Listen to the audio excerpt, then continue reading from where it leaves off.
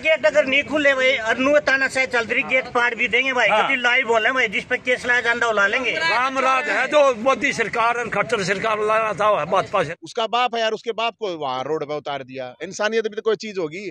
त्यागी को इन्होंने रंगे हाथों पकड़ा रिश्वत लेते हुए।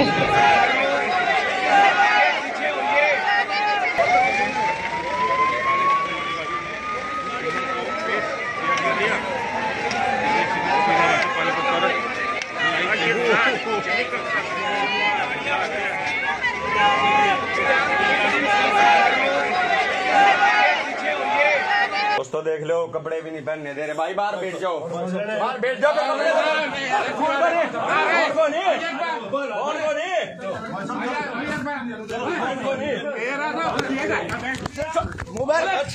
हमारा पीठ गिर गया आशीष। ने फ़ोन दिया था। वो खोल दिया ज़बरदस्त। ये राम राज है जो मोदी सरकार और खट्टर सरकार लाया था भाजपा सरकार। मारपीट की थी आपके साथ? बिल्कुल करी है। भाई साहब वहाँ भी कैमरा को यहाँ भी- लाइव है तो ये बताएँगे हाँ जी। मारपीट तो पूरा पुलिस लाइन में भी करी है ना पंद्रह सोलह इकट्ठे हो रहे थे। भाई जिस तरह से आशीष और जो सिंघम है पुलिस वाला उसके साथ जिस तरह काम करेगा इससे ये दिख रहा है ये जो अपने गब्बर सिंह गृह मंत्री हैं ये गड़बड़ सिंह मंत्री हैं। क्यों गड़बड़ सिंह हैं ये?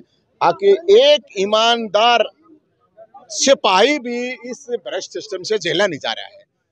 और एक बात आप जब एक पुलिस वाला आवाज़ उठाता है उसको इस तरह से, जिस तरह किया गया है, सेक्शन 41 ए के तहत इसको नोटिस देना चाहिए था। जिस हड़बड़ी में ये दिखाया गया है, पुलिस कह रही है कि कानून व्यवस्था खराब हो जाती है। यार, कोई आतंकवादी है क्या ये?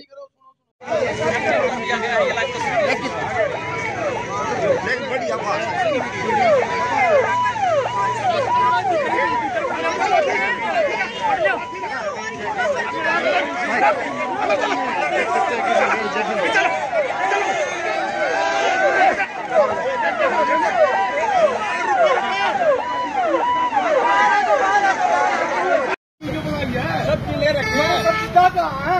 सुविधा का है अरे लक्ष्मणगढ़ के। तुम लोगों से। ज़बरदस्ती बना ले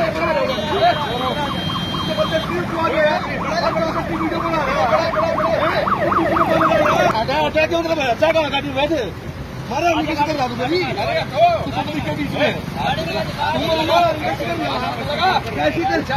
कैसे कर दिया पैसे लेने? क्या कैसे दिया